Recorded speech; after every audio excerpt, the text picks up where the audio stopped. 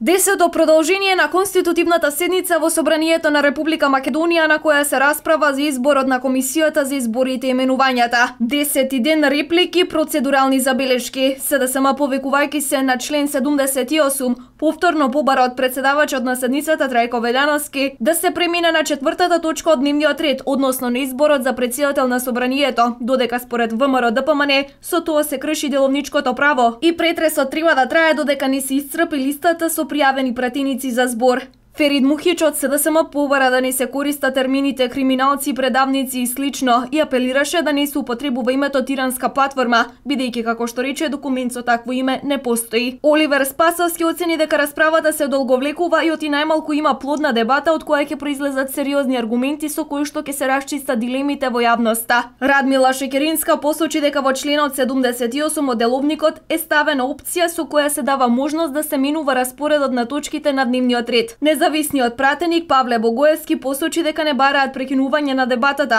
туку спојување на двете точки обвини дека председавачот Велјановски спротивно на деловникот спречил гласање по предлогот. На ваквото барање председавачот Велјановски рече дека има разлика за барањето во тек на седницата и претрес по точката од дневен ред. Нешто што е започнато не може да се прекине додека не заврши, рече Велјановски. Пратеникот од ВМРО ДПМН Антонио Милошовски рече дека сега деловникот треба да ја плати цената поради амбициите на председателот на СДСМ Зоран Заев да стане председател на владата. Тој ги праша пратениците на СДСМ како можеле пред изборите да ветуваат едно, но по изборите да поддржат платформа која е подпишана во друга држава. Како може пред изборите да ветувате една програма, ефтина струја, скапа струја, екстерно тестирање, минимална плата, просечна плата, а после изборите ги измамите сите граѓани и се договарате за една уцена подпишана и заверена во соседна држава, која што уцена сега треба да биде главен предмет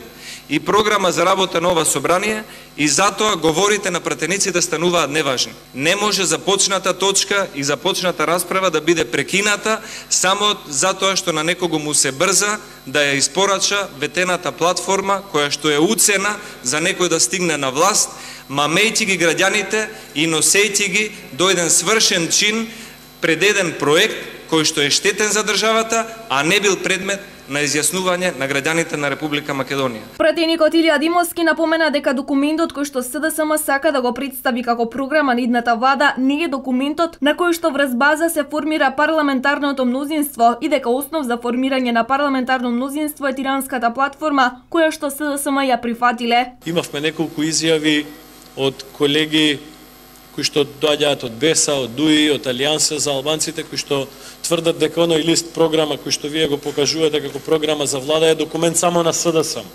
Дека не е тоа предметот, тоа не е заеднички документ и не е документот врз база на кој што се формира парламентарното мнозинство, туку дека во документот за парламентарно мнозинство, односно во договорот за парламентарно мнозинство, не прескоклив дел е и а, платформата, декларацијата, резолуцијата, од Тирана, од Скопје, од Чаир, од Гостивар, не битен е насловот. Содржината е бит. Во содржината, меѓу другото, се вели дека треба да се осуди геноцидот.